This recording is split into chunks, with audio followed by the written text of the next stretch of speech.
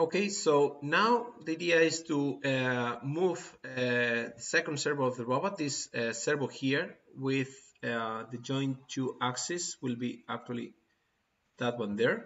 Okay, and the idea is to move or to have a proper simulation for this closed loop structure that you can see here.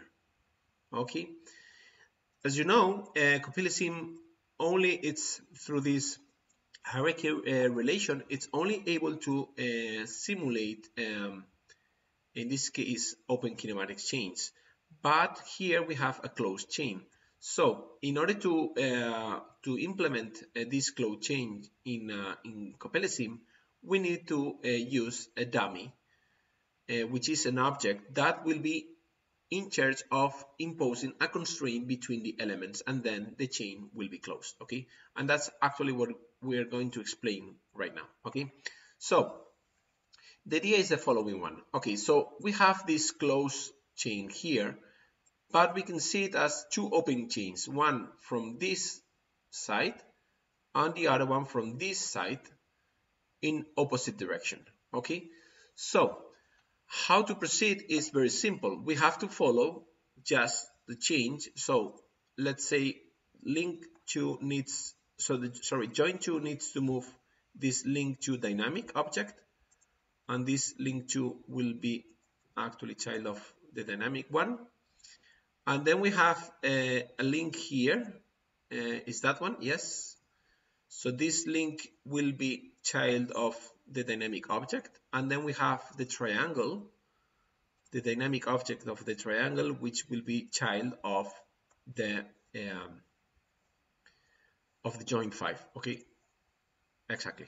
And then we have another joint here uh, will be uh, 6 okay?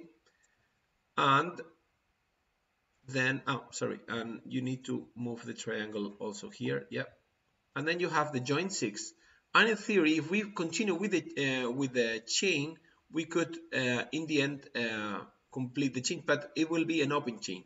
So now what we are going to do is to implement the chain in the other way around. So from link one, what we have is a joint here. Let me see that one, joint seven.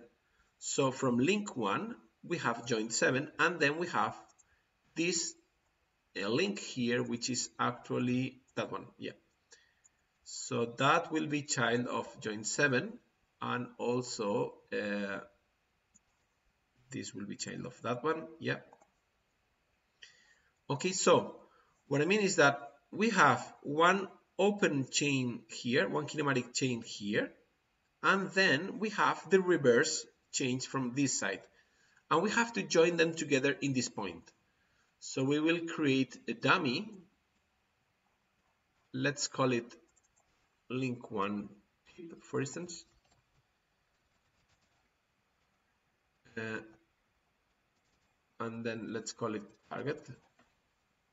And the idea is that we need to move these uh, dummies, we, they need to be moved to this position there.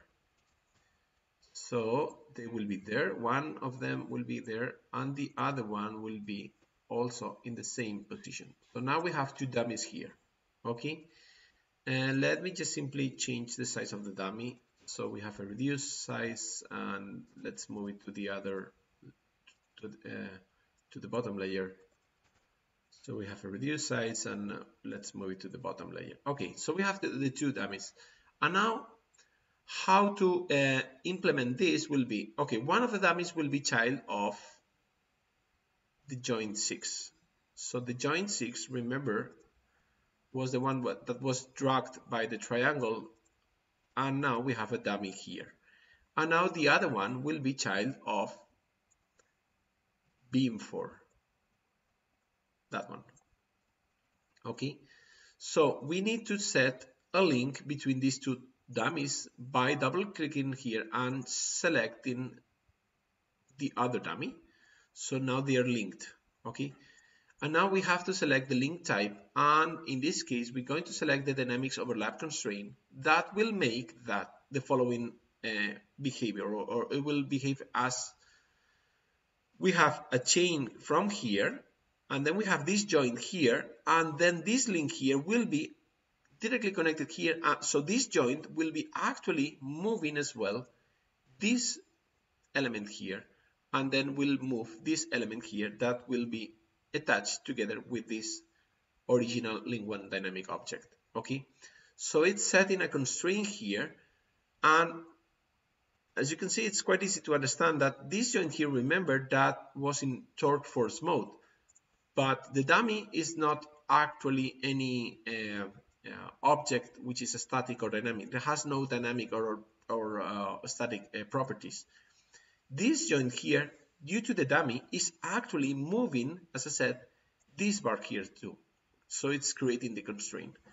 Okay, so that's the way we can see that. Okay, so now if we if we just simply uh, create another function for Q2. Uh, we create another, we get the handle for join 2. We set the reference initial value to 90 exactly the same and we copy paste and change the numbers and also these two I'm going to paste them and modify the name with this and this. So this one will be pointing there and that one will be pointing there okay? And uh, now also here